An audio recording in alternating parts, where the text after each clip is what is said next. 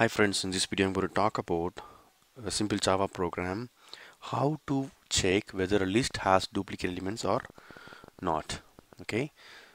So I've written a very simple program. I'm creating a list here. I've added few elements duck hen parrot all and parrot okay?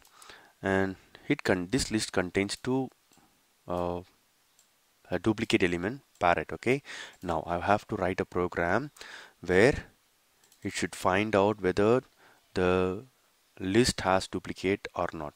So for that purpose I'm using hash set. As you all know set allows only unique elements. It will not allow duplicate elements. So what I'm trying to do is I pass the list here and I'm trying to add to a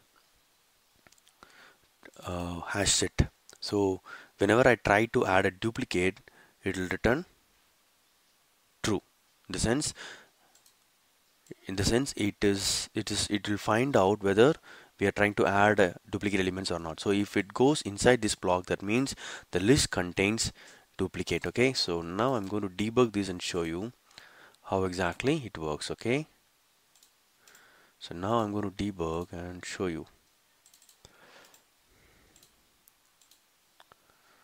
So here I'm created the list. Now I'm going to can you see here? So it says parrot is the duplicate element okay? And returns true. Now we can find out the list contains duplicates and it is equal to true. Now I'm going to change here to span. Now we should get now we should get false.